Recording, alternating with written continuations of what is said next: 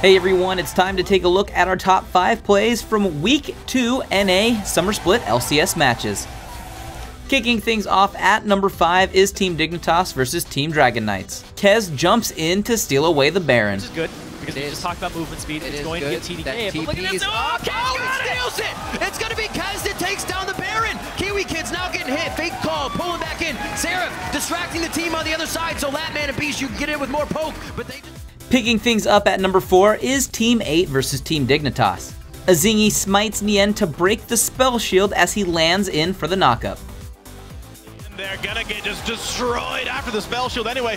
Olsen tries to run. Core, On JJ CoreJJ's Ezreal's got a Sheen. 3,000 gold lead for the team. Keep on going with these ganks. Bites off the spell shoot. That's so cool. Yeah, he's able to get the damage and the knockup. And it actually is very important that you get that this early with Zac because he is, again, maxing the elastic slingshot as a huge part of the kit. In at number 3 is Team Dignitas versus Dragon Knights. Gamsu chases and flashes the Chain of Corruption to set up a big engagement for Dignitas. Off of the base. 15 seconds on Azingy. Still have some time to wait. Shoot! Oh, he flashes over the chain of corruption, but Seraph goes in with the same idea. They are thinking alike right now, but Seraph goes Oh! down uh-huh. first. That's the double kill for Gamsu. It's exactly what he wanted to be. At number 2 is Enemy Esports versus Team Liquid. Liquid punishes the early dive from Enemy as it backfires. A little bit too early. trying to take the fight before the rest of the team shows up. Flash, body slam comes in with a knockout Power Dominate hits. with some turret shots as well. And Trashy goes down. First blood comes in. Quas battling Otter. A nice hook from the backside. Body drop with the ignite on Quas won't get the kill. Otter the second drop as well and Dominate to run away. Two kills, maybe make that three as Flares tries to dive with the turret, gets root prisoned up. 3-0 Team Liquid. And your number 1 play from week 2 is from Cloud9 versus Gravity.